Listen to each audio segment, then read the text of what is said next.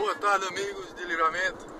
O carro da saúde, o Classic, faz, foi entregado dia 24 de junho, andando sem placa aqui na cidade de Patos. Vereador Paulinho.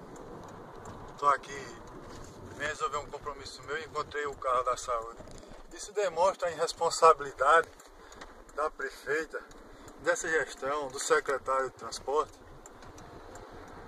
com a falta de respeito com o livramentense. Se tiver um acidente. Se tiver um acidente, Deus defenda, mas tudo pode acontecer.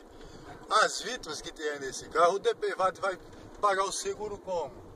Se a prefeita não pagou o, o emplacamento do veículo. Então tá aqui, entrando na cidade de Patos, hoje.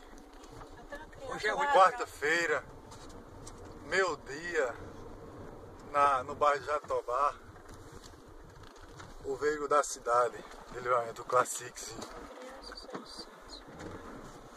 Criança sem cinto. Isso é uma falta de respeito e responsabilidade grande da prefeita Carmelo Ventura.